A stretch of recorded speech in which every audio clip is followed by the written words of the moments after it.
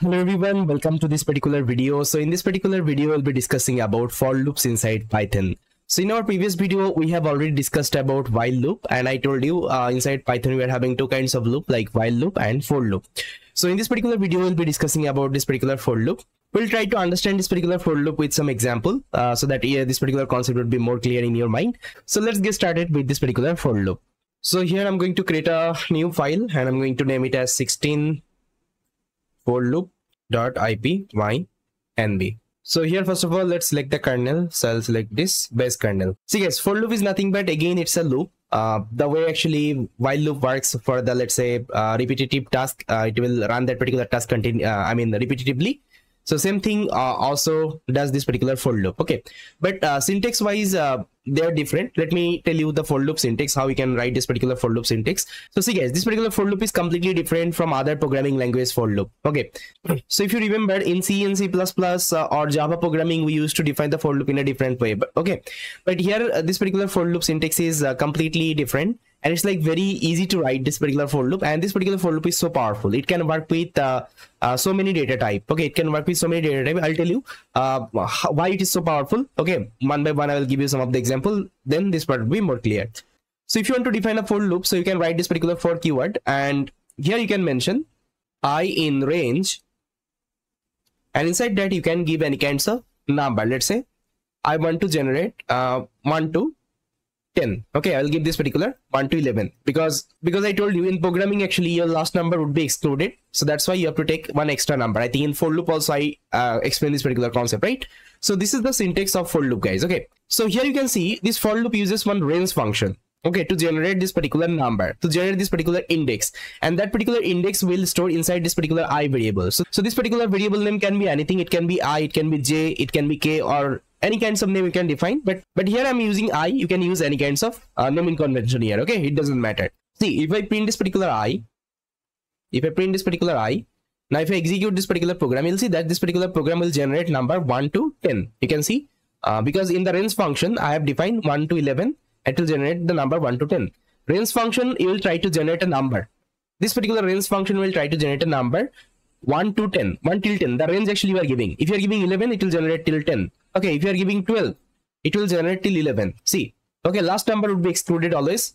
Just always try to remember in programming okay in python. Last number would be always excluded. So it will generate till 10 if you are giving 11 okay so what is the use of this particular range function? Range function will generate this particular index number. Okay so this thing actually but in while loop we used to create this particular index separately. Okay we used to create this particular index separately i think remember. We used to make a counter. Uh, after every loop we used to update that particular number. But here we don't need to use that particular approach. We can directly take this particular index with the help of this particular range function. That means what is happening. See just try to consider instead of range it is utilizing like that. 1 2 3 4 uh, 5 6 7 8 9 10 okay? Like that. Like that. That means whenever you are running this particular for loop it is first of all picking one. It is coming inside i it is printing. Then two coming inside i it is printing. Then 3 4 5 6 7 8 9 10 and so on. So this is the work of range function. So range function is generating this particular index and i'm able to print this particular index. Okay i hope this part is clear. And this is the syntax of for loop. Okay this is the syntax of for loop and this is like very easy to define this particular for loop. And this particular for loop is so powerful because it has this particular range function and it can work with any kinds of data type. Now you can ask me what kinds of data type i can work with? You can work with any kinds of data. Let's let, let me give you one example. Let's say if i write one for loop so for i in okay for i in let's say my name bappy okay? Now if i just do print i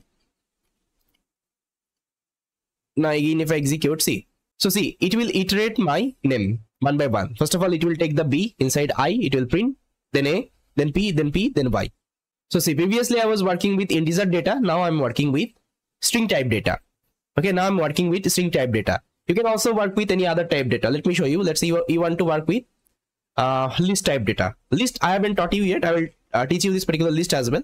What is this list. As of now try to consider this is a list. Okay now see if i print it can also iterate through the list. It can also iterate through tuple. Okay it can also iterate through tuple so this is called tuple. I'll also uh, teach you this particular tuple concept. Everything i'll teach you see. With any kinds of data uh, data type this particular for loop can work. Okay? So one thing i want to show you of this particular range function see uh, this particular range function can take three uh, input. So the first one is the lower range the second one is the higher range and the last one is the step value. Let's say step value is 2 now what will happen? Um, it will print the number after two step let me show you see first of all it will print 1 then it will uh, it will exclude 2 then it will print 3 then it will uh, ignore 4 it will print 5 then it will ignore 6 then 7 and 9 okay so this particular uh, parameter is step parameter. Now see if it if it is 3 it will ex uh, exclude two number actually. See 1 then 4 then 7 then 10 so you can play with this particular parameter. So if you need anything in future in your project let's say you want to uh, you want to uh, print the number by let's say excluding one or two number what you can do you can use this particular parameter at that time in the range function. So this is the concept of for loop. I think uh, you got it. See if you have understand about while loop i think uh, this particular loop is also clear. Like both of them are loop only. So whenever i need repetitive task i can use any of the loop okay? It's up to you. See the program actually we have written uh, previously. Uh, i used to print my name uh, 10 times okay? With the help of for loop also you can print. Let's say for uh, for i in so for this i'll just write for i in range okay? I want to print my number 10 time. Okay so what i will do i'll give 1 to 11 and inside that i'm going to print my name. Okay i'm going to print my name bappy now see it will print my name 10 times okay so the same task we can perform with the help of for loop with the help of while loop. Yeah so this is the looping concept uh, inside python. And this particular loop is called for loop. Now let me do one exercise. Uh, this particular exercise will give you a more clear cut idea about this particular for loop like how it can uh, how we can use with different different tasks right so guys you can see this is the uh, exercise we'll be solving so here what we have to do we have to write a program so the current population of a town, let's say there is a town, the current population of that town is uh, 10,000 and the population of the town is increasing at the rate of 10% per year. You have to write a program to find out the population at the end of the each of the last 10 years. Okay, that means in last 10 years, what was the population? Okay, what was the population in that particular town? So for this, actually, I have to write a program. So for this, what you can do, uh, you can use this particular for loop concept. Let me tell you how we can write this particular program. So first of all, let me just write the current population. So current population is equal to 10,000. Okay, 10,000, you can see this is the current population of this particular town. So here, first of all, what I have to do, I have to, I have to go back like 10 year. Okay, I have to go back 10 year. Let's say, let's say if it is, let's say 2024. Okay, if it is 2000, if it is 2000 let's say 24 what i have to do? I have to go back 10 year back. So i need to check the population of 2023 then 2022 2021 and so on. Okay and so on. I have to get back 10 year back. Okay so that's how actually i have to figure out this particular population. So how we can do it? So with the help of uh, for loop i can easily do it. So what i will do i'll just write for i in range. Okay for i in range. And i think you remember we can generate a number see we can generate a number like that also. Let me show you another example. Let's say this is the for loop we have done right? So here you can see this is the for loop we have done. See we can also print the number uh, opposite. So here we have printed 1 to 10 okay 1 to 10 we can also print the number uh, let's say 10 to 1 let's say 10 to 1 so for this i need to give 11 and here i have to give 1 and here i have to uh, here i have to mention i need to print the number okay i have to i need to print the number. Opposite. Okay that's it. That means minus one. Now if i execute this particular program you'll see that uh, first of all 11 uh, 10 9 so here i have to give the 10 and here i have to give the 0 that means uh, 0 would be exclu uh, excluded and it will print till 1 see? So that means 10 9 8 7 6 5 3 2 1 okay and i'm printing the number opposite. Okay that's how actually you can also use this particular range function. So we'll be using this particular concept here. So here i'll just write uh, I need to check 10 to 0 that means 1 uh, that means last 10 years and opposite okay? And here I need to get back opposite. That means 10 to 1 okay that's why I've given minus 1 now I'll just print. So first of all I will print the number. So I'll print the I. Then I'll print my current population. Okay current population.